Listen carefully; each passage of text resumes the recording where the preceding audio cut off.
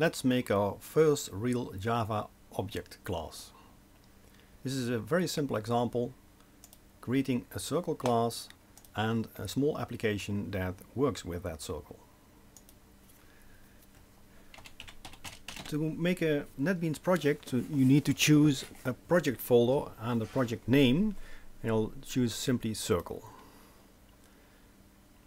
To make the first class use the Java class wizard and enter the name of the class that you want to create, in this case circle, and put it, for us use the defaults.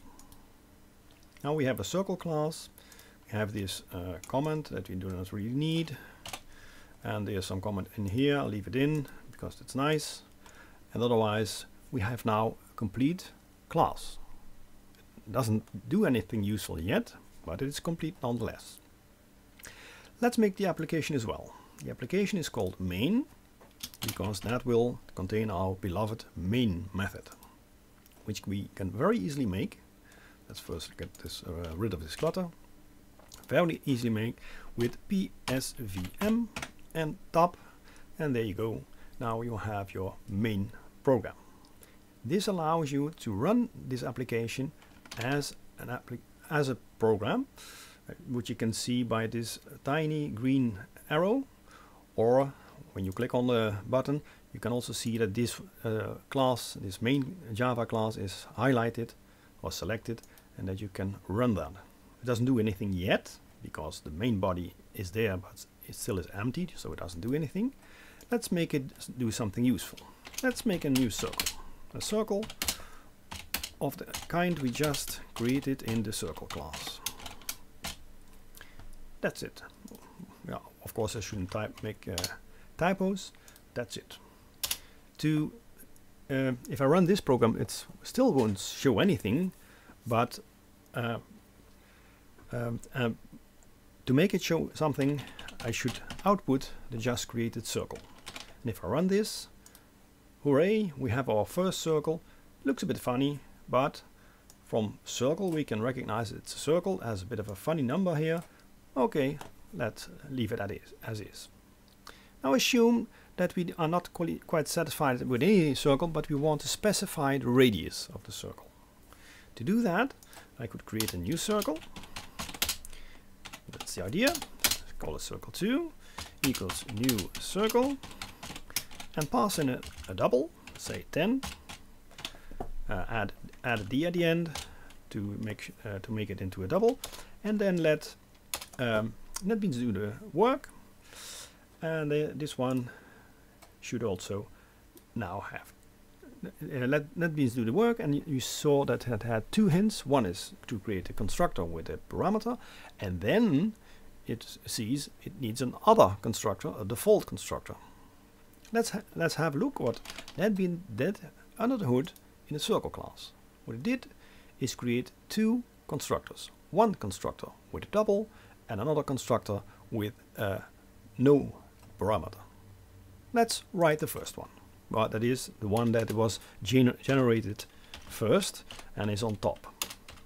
What we can do now, we'd like this uh, circle to have a radius, radius equals d, the parameter passed in, and Alt Enter, and it uh, that means now shows three options: create a local variable, which is not very useful; create a field, which is what we want, or create a parameter radius, which is not what we want. So we select the middle one. Now we get a field with a name radius of type double exactly as, as ordered. Now we have still an other constructor with no parameters. Such constructor is a default constructor or default constructor, whichever way you want to pronounce that.